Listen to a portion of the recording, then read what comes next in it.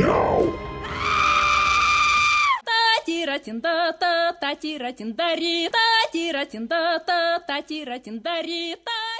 Всем привет, дорогие друзья, и добро пожаловать на канал Коротко а не Коротком. С вами Кин, и вы боитесь монстров?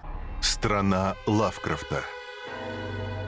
Действие сериала разворачивается в Америке 50-х, где довольно молодой ветеран Корейской войны Атикус, или проще Тик, узнает о пропаже отца. На руках у него только полученное письмо с подсказкой, где стоит начинать поиск. Это буква «Д». Это не Аркхэм через «К», а Артхэм через «Д». Это буква «Д». С собой в дорогу он берет дядю и подругу детства. Но путь осложняет несколько факторов, один из которых то, что вся компания темнокожая. А в разгаре жесткий расизм тех времен. И спокойно отдохнуть или даже просто поесть им никто не даст. Но это только полбеды. По дороге они встречают никого бы там ни было, а настоящих монстров, способных разорвать человека на куски. Да и это только начало, благодаря которому Тик с друзьями поймет, что мир куда страшнее и опаснее, чем может казаться на первый взгляд. И что чудовища из ночных кошмаров могут быть вполне реальны. Страна Лавкрафта.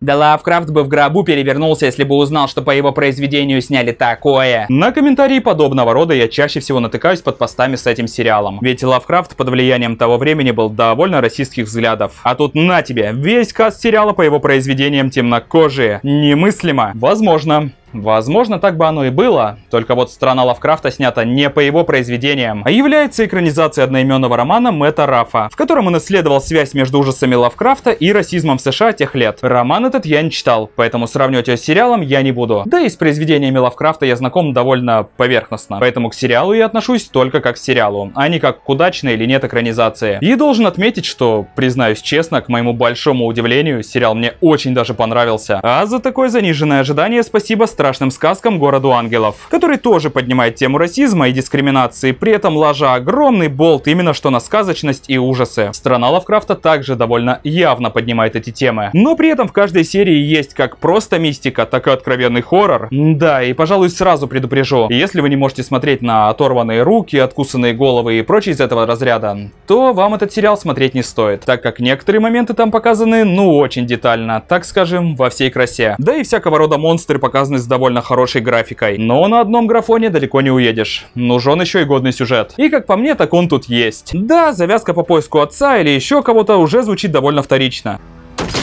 Пора делать дело.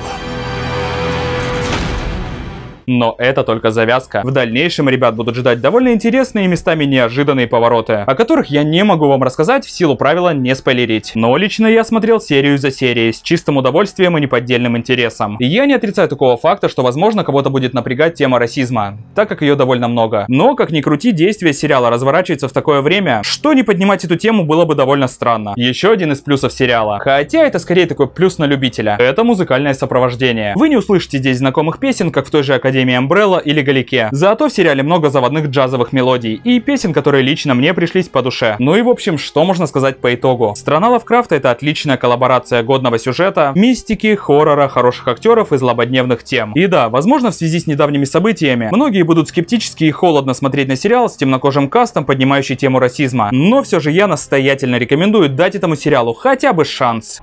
Страна Лавкрафта.